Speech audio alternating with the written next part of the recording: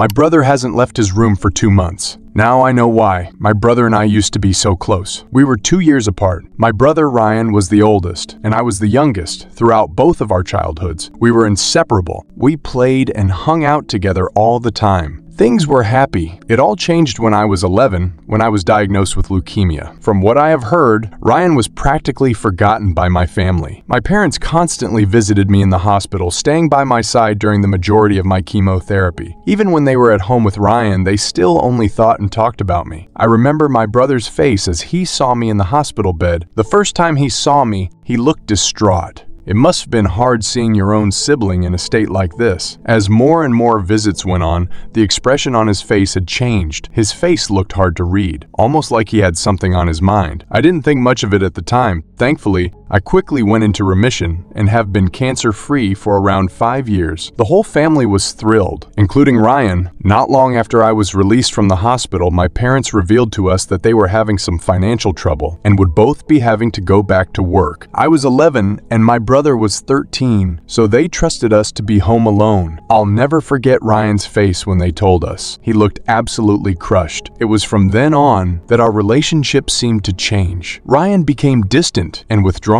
He was quicker to anger and didn't seem to want to be around me. At the time, I figured it was part of him becoming a teenager. While this behavior continued for next five years, it was only around three months ago when his behavior began to get stranger. It started after he finished his senior year of high school. Once summer break began, he started spending much more time in his room. His bedroom is on the basement floor of the house, so he always has his privacy. Not long after school ended, I began to notice some odd signs. I remember sitting on the couch, watching television. Ryan wasn't home, and my parents were out working. When Ryan came home, he was carrying some sort of container. I couldn't tell what was inside since it was covered by a white sheet. I asked him what it was, but he told me loud and clear that it was none of my business. He brought the mysterious container down into his bedroom. He then came back upstairs, back outside to his car, and came in with another container, still covered by a white sheet. He continued this a few more times, coming back with more covered containers. At this point, I was extremely curious, but I didn't want to upset him by asking again. Once he finished retrieving the containers, he went back to his car and returned with more stuff. This time, he came back with many bags of food and bottled water. All of the foods were non-perishables, like bread bread, canned goods, and crackers. Finally, he went downstairs and locked the door. I was confused, but I wasn't very concerned. I began to get alarmed the next day when he still hadn't left his room at all. I knocked on his door, hearing him shout for me to go away. I tried pulling it open, but it wouldn't budge. He must have did something to lock it from the inside. Eventually, my parents got concerned too. They tried to open the door, but Ryan convinced them not to care. He told them that he was an adult and that he had food and water to sustain himself. They gave in, not wanting to argue after a long day of work. I, however, refused to give up.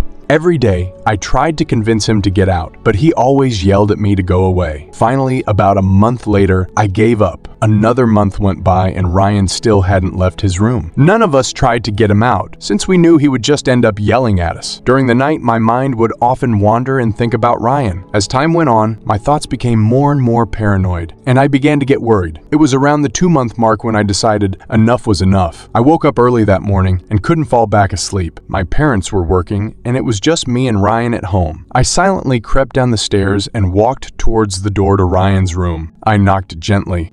Silence. I knocked harder, but still got no response. I tried calling his name, but was still met with silence. I continued to knock, eventually banging at the door. I was getting really scared. I put my ear to the door and noticed something. I heard a noise that sounded like a muffled buzzing. I finally got to a point where I decided I had to force my way in somehow. I went in the garage, retrieved a baseball bat, and headed back to Ryan's door. I struck the door. As the wood broke, I was hit with a horrific stench and a swarm of flies flying out. Suppressing a gag, I turned on my phone's flashlight and headed downstairs. I called my brother's name. Ryan?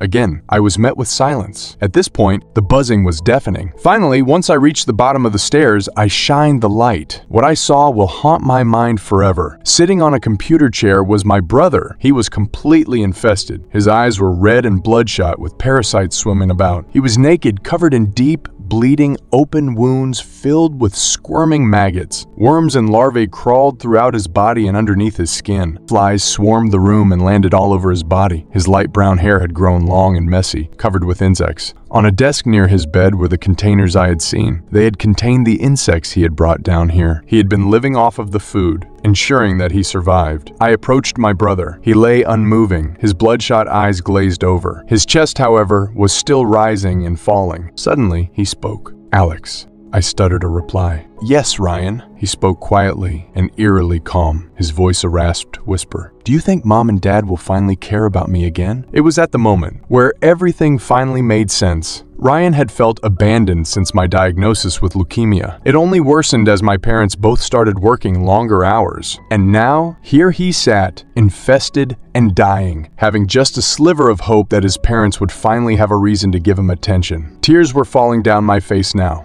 Of course they will. Barely 20 minutes later, the ambulances arrived. My parents rushed home from work and couldn't stop sobbing once they saw Ryan in his current state. He was rushed to the hospital and died hours later. He had gotten exactly what he hoped for. Mom and dad are distraught and cannot stop thinking about him. At first, I felt guilty. If it wasn't for my leukemia, he never would felt neglected. But then I felt anger. He didn't have to destroy his own body. All he wanted was his parents' attention, and now he isn't even alive to see it. Now, as I stand in front of my brother's grave, I feel nothing but pure emptiness. A hole in my heart that Ryan once filled is now empty. I sighed, looking at my brother's grave. As I stared at his engraved name, I noticed it. A little maggot was crawling down his gravestone.